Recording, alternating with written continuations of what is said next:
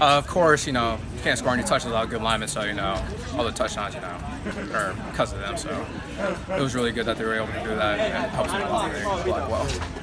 And, uh, you know, it, it, looks like the offense uh, was in midseason form, especially the running game. Um, you know, what can you guys kind of build on that for tonight's game that you know, can make the deep, the, the, rushing game even uh, more difficult for teams to stop? Uh, well, we'll come in tomorrow, watch film, and see what mistakes we made and how we can correct them. So. Knowing that our defense is capable of making these type of plays, and we knew into it. We had a really good defense, and we lost some guys last year, but those guys that came in and uh, just provided like, you know, just some great great depth for us last year, and now they're coming in and making plays for us. It's huge.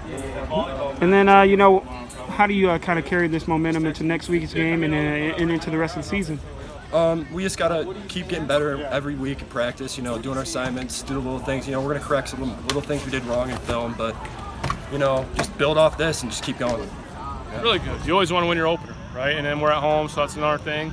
And obviously, you know, the expectations are high, and then you know the pressure's there for these guys. But you know, for us, we like that. We want the pressure, and we know we're gonna get everybody's best, and our kids know that, and. Uh, you know, they came out with, with some intensity right out the gate, and got a quick three and out, or I think they got a first down and went three and out, turnover, and then we tried to score right away, which we did. And, uh, you know, it's just exciting to be out here, man. We, get, we got a long bus trip, and Angola is a good program. Um, I think they won last week. I don't know if they won right now. They're playing tonight, too, so I don't know how they're doing their game, but I know they won last week.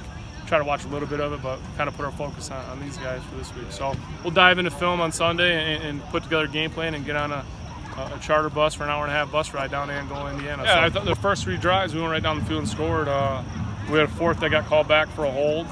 Uh, that's going to happen early on. You're going to have mistakes like that. So the one pick we threw was completely my fault. It was a terrible play call by me. So uh, you got to own it. Tell our kids you got to own it, and they got to own the, the, bad play call that was. But yeah, our running game's good. I mean, like I, I told you earlier in the year, we, I, I think Trent's the best back in the state and I think Cole's pretty good one-two punch. So with those guys and the big offensive line we got, uh, we really didn't do a lot of our passing game that I really didn't need to.